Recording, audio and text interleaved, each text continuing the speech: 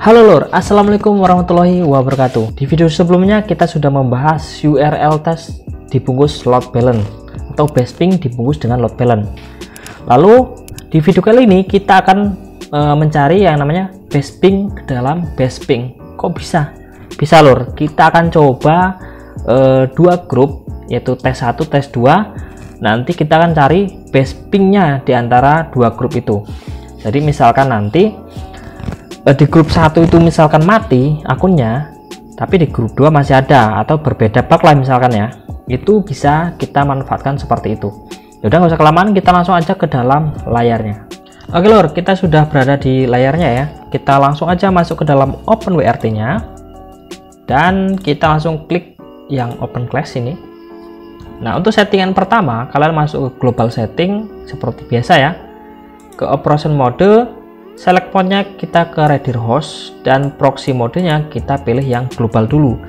Nah nanti di video sebelumnya setelah ini kita akan coba lakukan yang namanya bisa traffic lure bisa traffic menggunakan metode group to group ya. Jadi antar grup itu akan kita coba bisa traffic lure itu lebih menarik lagi. Jadi jangan sampai pindah channel sebelum kalian menonton video-video yang saya buat lor. Oke, kalau sudah, langsung aja ke bawah sendiri kita commit setting. Dan di sini ada server and group. Nah, kalau kalian di sini masih ada grup-grup, kalian kosongkan dulu ya untuk grup-grupnya.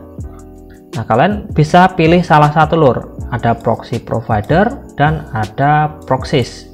Dan ini pastikan di dalamnya belum ada proxy grupnya ya. Yang bagian bawah ini dan kita akan buat grup dulu atau proxy grupnya. Kita add atau tambah lalu edit. Confignya kita pilih grup tipenya pilih URL test dan ini kita namai base 1 dan UDP nya biarkan disable tes URL nya kita pilih salah satu. Order grupnya ini kita kosongkan atau dibiarkan dan commit setting. Kita buat yang kedua di add dulu. Kita edit. Dan kita pilih confignya grup tipenya URL test. Kita namai grup name-nya yaitu base 2 disable UD nya UDP nya biarkan disable. Tes URL nya kita pilih salah satu. Order grupnya kita kosongkan dan commit setting. Nah ini yang terakhir lor yang terakhir ini kalian harus hati-hati klik add aja kita edit confignya kita pilih dan URL test grup tipenya URL test. Dan ini kita namai the base ya. Base seperti itu. Disable UDP nya biarkan disable. Tes URL nya kita pilih salah satu. Nah yang paling penting itu ada di sini ya. Yang paling penting itu ada di dalam outer group ini ya. Ini Nah ini order group ini kita pilih yang base 1 dan kita pilih lagi base 2 sampai seperti ini lor. Nah kalau sudah kalian commit setting kita masuk ke bawah lor. Di sini ada proxies. Kalau kalian menggunakan proxy provider itu bisa langsung diedit aja ya. Sebentar tak naikkan untuk trojannya biar nggak bingung. Nah di sini saya punya dua trojan dan dua vimes. Jadi dua trojan ini yang satu dan dua ini akan kita masukkan ke dalam base 1 dan vimes 1 dan 2 ini ini akan kita masukkan ke dalam base 2 jadi otomatis nanti memilih ping terbaik di antara empat akun ini lor. Sebenarnya yang dipakai tetap satu ya. Bedanya di situ. Sebenarnya yang dipakai tetap satu hanya saja kita memilih ping terkecil dari banyaknya akun. Yaudah, kita langsung aja ke dalam edit. Diedit dulu ya ini ya yang atas yang pertama. Scroll ke bawah paling bawah ini ada namanya proxy group dan kita pilih base 1 dan commit setting. Lalu yang kedua kita edit lagi scroll paling bawah lagi dan kita pilih base 1 lagi dan commit setting. Nah kita lanjut ke vmesh. Ingat ya vmesh itu kita akan masukkan ke dalam base 2 kita edit. Scroll paling bawah dan proxy groupnya kita pilih base 2 dan commit setting. Lalu yang terakhir ada vmesh juga klik edit.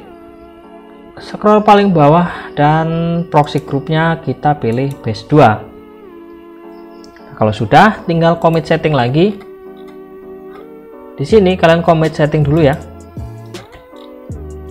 Kalau sudah tinggal kalian klik apply setting.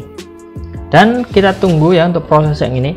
Jadi sebelum tulisan successful kita belum bisa menggunakan open class nya jika punya kalian muncul error tinggal tuliskan aja di kolom komentar errornya errornya seperti apa. Nanti kita akan bahas sama-sama di kolom komentar lor dan ini sudah muncul start successful kita buka open panel Nah, seperti itu ya.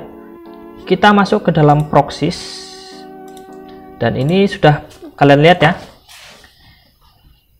Ada base base 1 dan base 2 ya. Ada base 1 dan base 2 dan di sini ini pun ada angka-angkanya ya. Ada 567 dan ini ada 600 sebentar zoom dikit. Nah ini. Jadi yang trojan ini dia 600an yang bawah ini yang famous itu 500an dan kita akan buka yang the best ini. Dan dia otomatis memilih yang B1 ternyata. Tapi kita coba tes latency dulu apakah dia tetap memilih B1 kita ulangi. Kenapa dia the bestnya milih B1 ini Oh dia paling kecil ya. Nah ini paling kecil. Ini 500 ini 200 jadi dia otomatis belum mau pindah ke dalam base 2 artinya dia akan mencari ping terkecil di antara grup-grup yang ada di sini lor itu otomatis ya. Dan kita akan coba klik yang the best ini. Ini. Dan kita akan tes di sini tes latency lagi karena kita hanya menggunakan uh, pingnya saja ya. 200 293 jadi punya kalian kalau misalkan di sini Vimesnya lebih kecil otomatis dia akan masuk ke Vimesnya lor. Ini kalau kita speed test ya sebenarnya sama aja. Tuh. Kita akan lihat speednya. Dia terdeteksi hurricane yang ini ya HE yang atas ya karena di sini paling kecil kalau masalah speed ya ya seperti inilah ya. Harap maklum. Di sini terdeteksi HE SGHE atau hurricane. Oke ini berarti sudah benar. Coba kita tes latency di sini.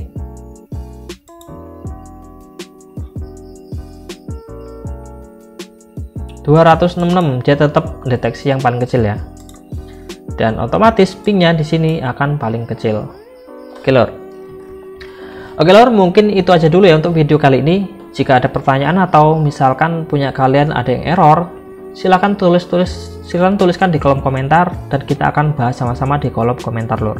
Terima kasih buat kalian yang sudah menonton videonya sampai akhir. Saya akhiri wassalamualaikum warahmatullahi wabarakatuh. Salam seduluran.